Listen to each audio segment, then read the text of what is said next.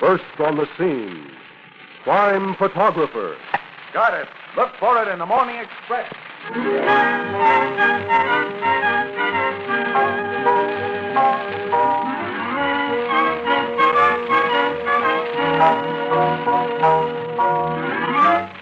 Columbia brings you another adventure of Casey, crime photographer, written by Charles Holden and played by Staats Cotsworth.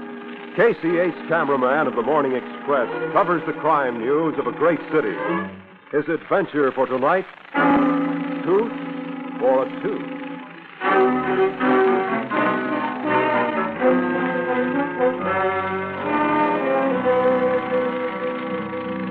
The city room of the Morning Express. Downstairs, the big presses are beginning to roll. Over in one corner, Henry Brower, one of the older rewrite men, sits at his desk, staring out of the window into the night. He turns as Casey, ace photographer of the Express, and reporter Ann Williams enter the room. Hi, Ann. Hello, Casey. Henry. Hi, Henry. Well, say, what's the matter with you? Looks like you'd lost your last friend. Yeah.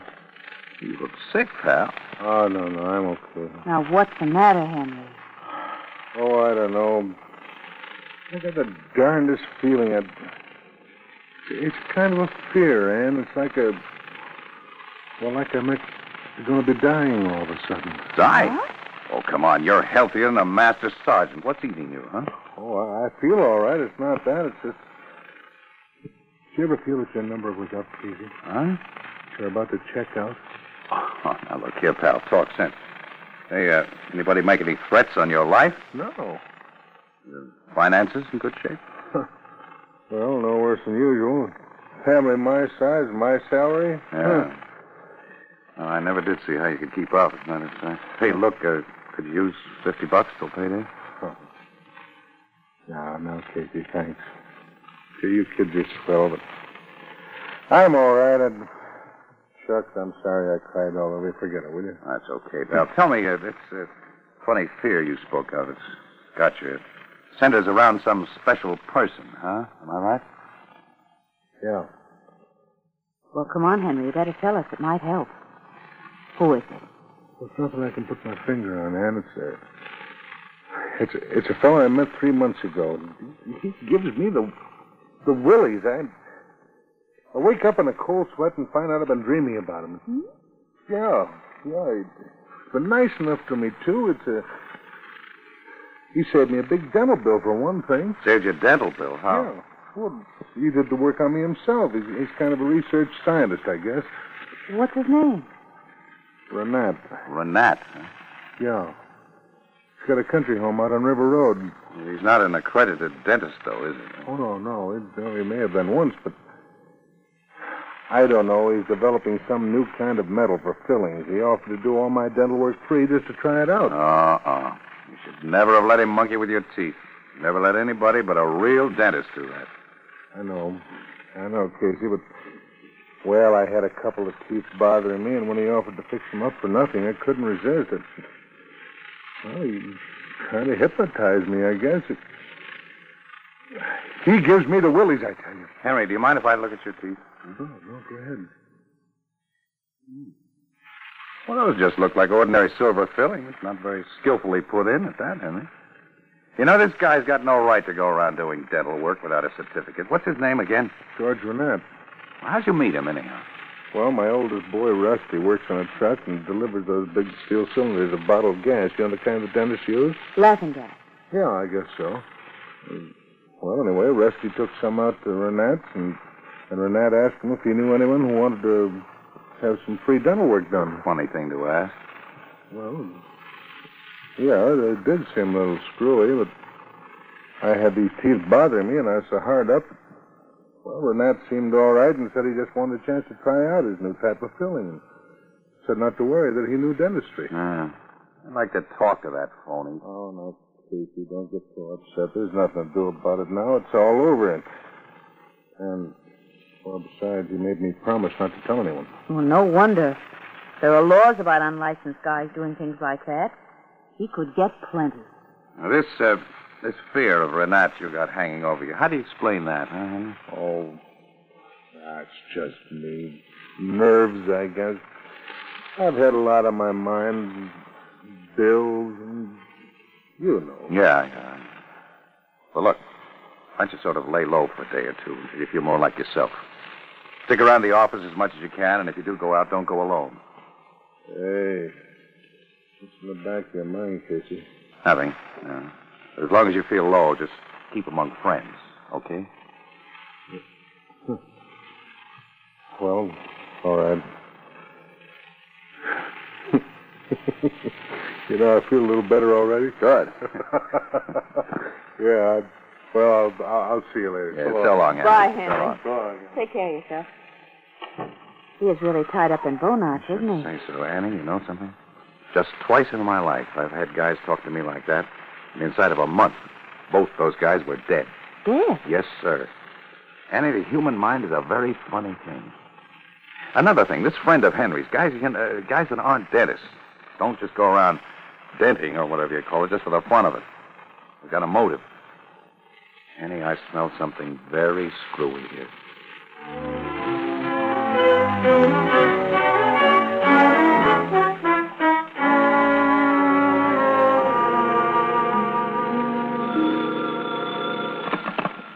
Hello, Casey speaking. Uh, hello, Casey. Logan. Oh, well, Logan. What's the good word from your homicide department today? Now, listen, you know a guy named Henry Brower who works here at the Express? What? What's happened? Did he disappear? Yeah. Jumping. His wife called headquarters here. He didn't come home all last night. Yeah? We've had an alert on him for over an hour. Hey, how'd you know he disappeared? Well, he, uh, he told me last night he had a feeling he was going to. Oh, uh, that's how it is, huh? Well, the bum took a powder. He walked No, no, no. Logan, no, he didn't. Don't tell me. Brower's got 3000 bucks in outstanding bills around That town. doesn't make any He difference. did a fade trying to duck payments, that's all. You're nuts, Logan. He's a right guy. Right guys don't do things like that, But I tell you, Henry's got a wife and four kids. Well, does that make it any better?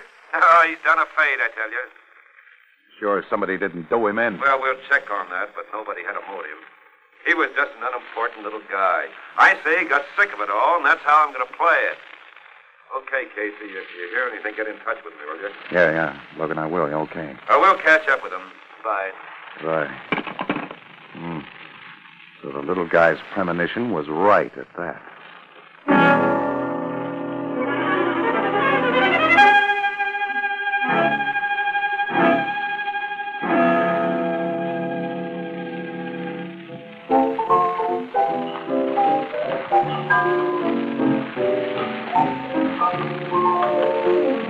Wow.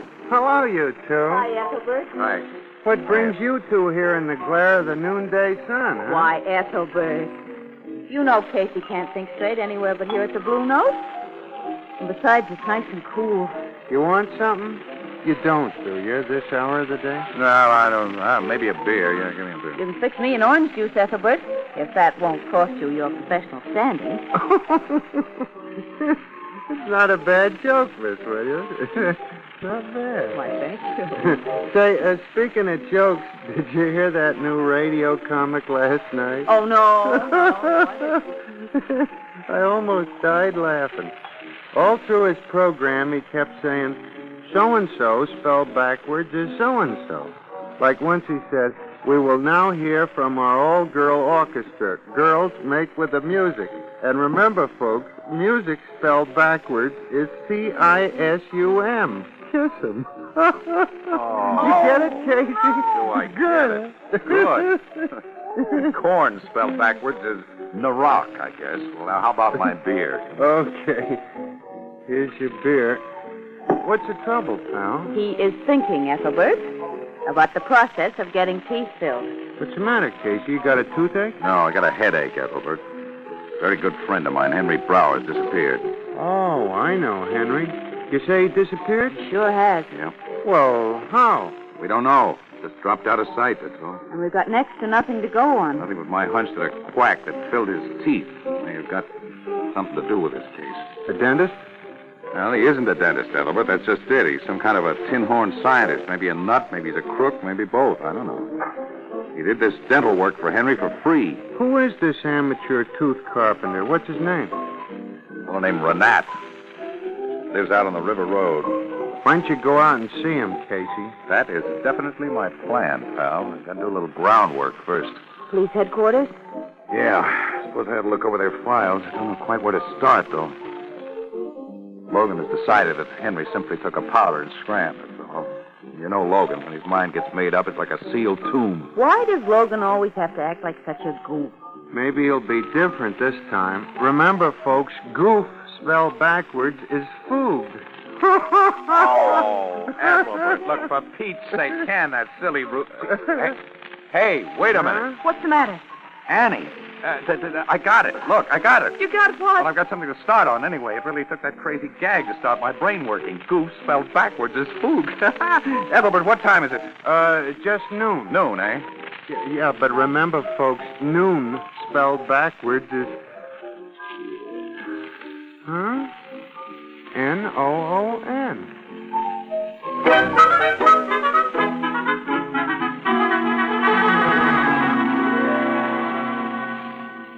Yeah, Casey, that's the Tanner case you're thinking of. Colorado in 1931. 1931. Yep, that's it. I remember it well, Logan. This guy Tanner was a cattleman. He was robbed, and then he was trampled to death by his own herd cattle. Right? Yep, yep, yep. And there was never any solution to the robbery. That's Yeah, that's it. Well, what's that got to do with Henry Brower's disappearance? well, don't look now, but I got one of my hunches, Logan. Two cases tie up beautifully. oh, Casey, I think you're nuts. You and your hunches. Henry Brower ran away, I tell you. He's trying to beat his creditors. Logan, I tell you, Henry wouldn't do a thing like that. All right, now I'm going to find him. That guy is in trouble. I bet he could use a bit of help right now.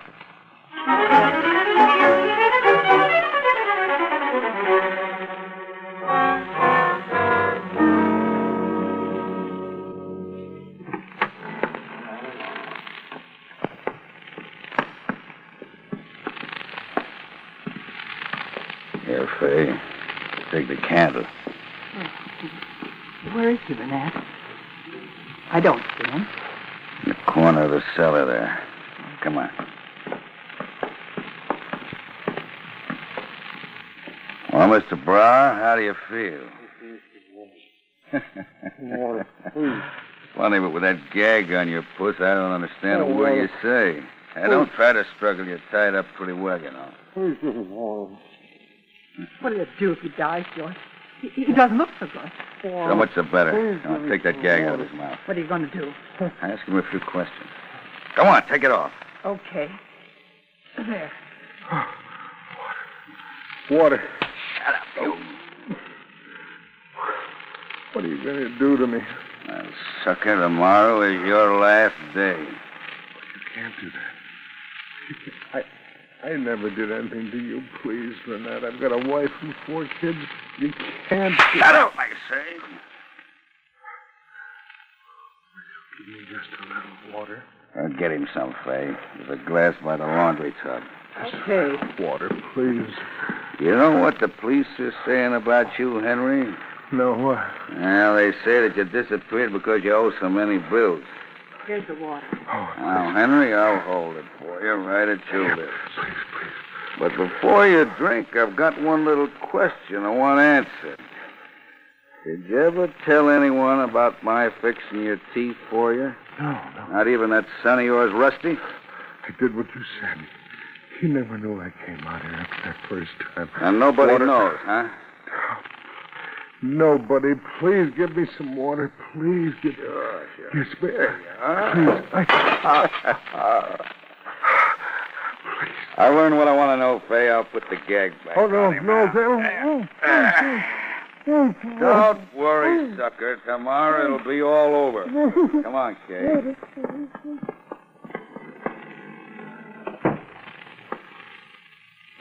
George, do you think he did tell anyone? No, I'm sure he didn't. I've had that guy scared to death ever since he first came out here. Listen, darling, nothing can go wrong, can it? Don't worry, ain't a chance, babe, because this time I'm taking no chances at all. Oh, I hate the suspense. But, but I suppose this job will put us on easy street for the rest of our lives, huh? That's right, baby. For the rest of our lives.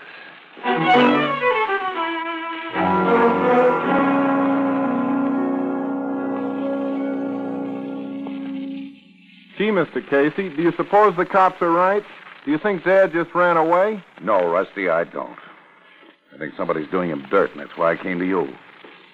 Uh, You're willing to string along with me, are you? Sure, Mr. Casey. Gee, I'll do anything to find Dad. Good. Well, I got to start somewhere, Rusty. Your dad seemed to have a strange sort of fear of this fellow Rennat. Why, he hardly knew him. Just that once when he went out there with me. And besides, why would he want to hurt my dad? Well, it's a funny world, Rusty. Sometimes we don't know.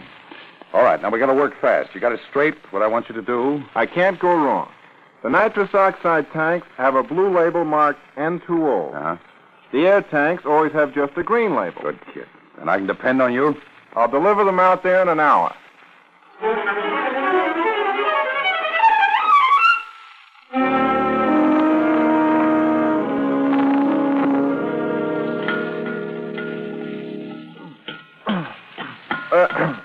Are, Mr. Rennat. There's your regular replacement on the bottled gas. I'm a little ahead of schedule, but I can't always get out here in the country. Ah, that's all right. I use that gas in my experiments almost daily. Hey, uh, by the way, is your father turned up yet? No, we haven't heard a thing from him. Oh, that's terrible. Well, he's probably just up on a log somewhere, huh? I'm sure it'll work out all right. Yeah, Mr. Rennat. I think maybe it will.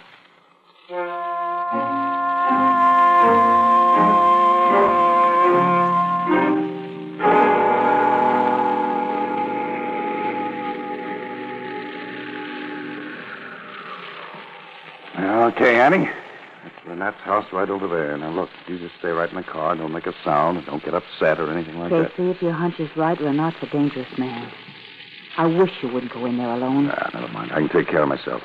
Look, if I don't come out in half an hour, beat it to the nearest farmhouse and telephone Logan right away. Will you let me go with you? No, I gotta play this alone, Annie. Now, don't you worry. I'll be careful. We'll see that you do. Good luck. Okay, honey.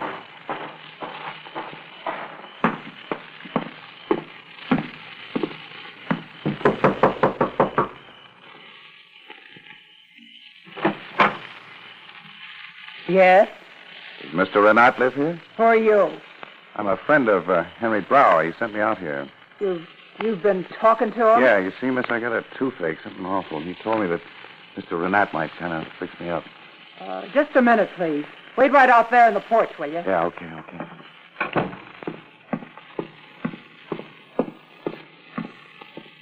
George, Yeah, baby. Who some is it? guy. You know, he says that he knows Henry Brower, and, and Henry sent him here. Henry sent him? Ah, you're crazy. I tell you, he said Henry Brower sent him. Huh. Does he look like a copper? Oh, I don't know. Oh, George, don't let anything Ah, happen. don't worry. Nothing's going to happen. Yeah, he might be a plant from the police. I'd better see him. Be careful, George. Please be careful. Don't worry. By the way, what do you want? He says that Henry told him that he could get a tooth fixed out here. Oh, oh, he did, huh? Yeah. Let me doing his work. I'll make him pay for that. Okay, Fay. There's only one way to play it. Get this guy in here.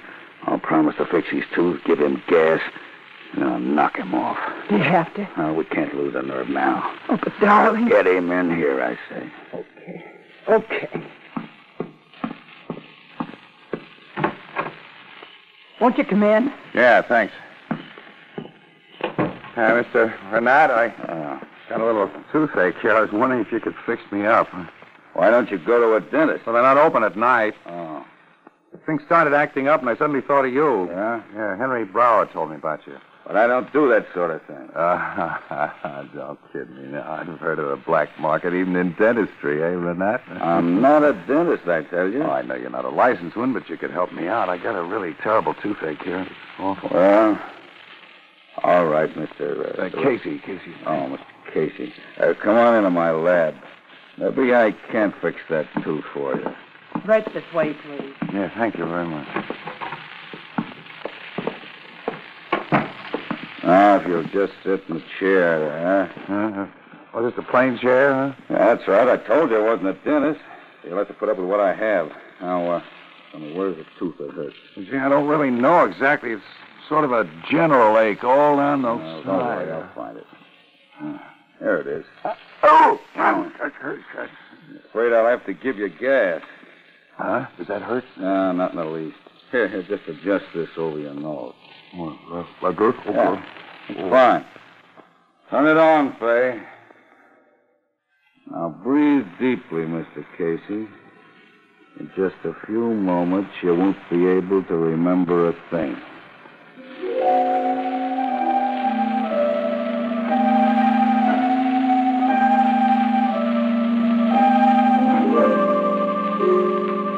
Phony, all right. He hasn't got a cavity in his head. His teeth are perfect. Hmm, I thought so. Is he unconscious? He ought to be. I've given him enough for ten men. You know, I think he's wise to it. George, I knew this was risky. We should never have tried it again. We got away with it in Colorado, but, well, because you, you picked a nobody for the fall guy. But it isn't working out this time. Ah, don't worry. This Casey is probably a friend of Henry Brower who got suspicious of me when Henry disappeared. Probably just came out to investigate. Well, we'll soon fix that.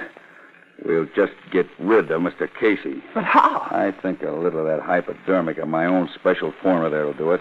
Yeah, there's one ready in the cabinet. But, but you don't want two bodies to be found here after the fire. Oh, brother, it's going to work out all right, Fay. Oh. We'll get rid of this slug tonight. Burn the house down tomorrow. We'll find Mr. Brower's body, whose dental work I fixed to exactly match my own. They'll identify him as me. You collect my insurance and meet me inside of six months in Havana. Everything just as we planned. Oh, I, I only hope we get away with it, that's all. We will. Don't worry. Now give him some more gas. Aren't you afraid you'll smother me? Why? What? You can't. you No, you don't, you swine. George, okay, you drug him, drug him. Oh, oh, my arm. There. Guess that'll teach you, Mr. Tanner. Tanner. Oh, you freak in my arm. You don't deny you're Tanner? Colorado, 1931. No, no. You're crazy. Ow. All right, all right. I'm Tanner. Let me go. All right, now, Tanner, where's Henry? He's. Uh, I'll talk. He's in the cellar. Is he alive? Yeah, we haven't heard him. He's alive. He better be. Pick him up, you two. Now, come on, Reed. Logan. Oh, Casey, you all right? Oh, sure, Annie, I'm all right, sure. When you went inside, I couldn't wait half an hour. I just drove up to the next farmhouse and called Logan. Yeah, I got here as fast as I could. Well, Logan, my hunch was right. I know we followed you in. We were right outside the lab door. Then you heard? Every word. Believe me, it'll be used against you. We're gone, as Fay. You'd better not talk. That's more like it. All right, keep him covered, Logan. I'm going down to get Henry.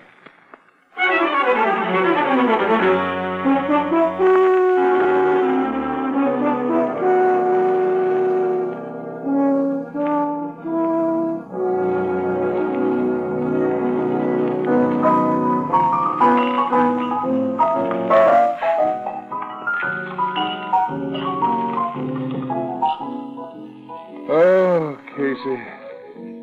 It's great to return to the land of the living. Yeah, from which Rennat and Fay will soon be departing.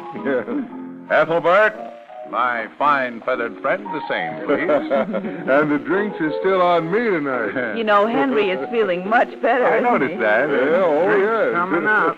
Thank You you. know, Casey, I still don't see how you pinned this whole thing on Rennat. How did you? Well, Ethelbert, I tell you, I was naturally suspicious of a non-dentist doing all that fancy dental work. You know, there's only one sure way to check on the identity, if you'll pardon the expression, Henry, of a well-burned corpse. Yeah, um, I nearly was just that, too. Yeah. Oh, what this guy was doing was building himself a case, you see. He made over Henry's dental work to match his own. You see, Tanner tried that trick once before in Colorado, and he got away with it. He dressed some poor guy in his clothes, killed him, and then made it look as though he himself had been trampled to death uh, in a stampede. Then he studied dentistry, huh? But Casey, when you was in the lab there taking that gas, what'd you do? Hold your breath? Rusty worked that one out. He switched labels on the gas he delivered. I just pretended to be unconscious, Ethelbert. You know me. I was never unconscious. I Was breathing plain air all the time. The only way I could think of to get a confession out of him. Oh, but how'd you ever connect this bloke up with that case in Colorado? How'd you know he was Tanner? Well, this really is going to kill me to admit it, Ethelbert, but uh, it was when you were doing all that backward talk, you remember? And remember, folks, Rennat, spelt backwards, is. Uh, P A N N E R. Well, how do you like that? Tanner. Tanner? Yeah, Tanner. well, I'll be doggone.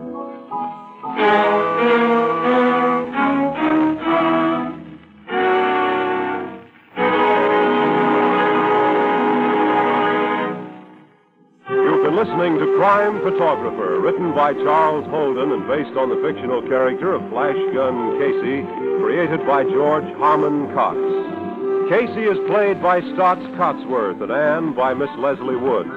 Original music composed and conducted by Archie Bleyer. And the Blue Note pianist is Herman Chittison. Crime Photographer is produced by John Dietz and directed tonight by Rocco Tito. Crime Photographer will be heard again next Monday at this same time. After which it will return to the air Thursday, August 8th at 9:30 p.m. Eastern Daylight Time under commercial sponsorship. This is Bob Hyde inviting you to join us again next Monday at this same time for another fast-moving adventure with Casey, Crime Photographer. This is CBS, the Columbia Broadcasting System.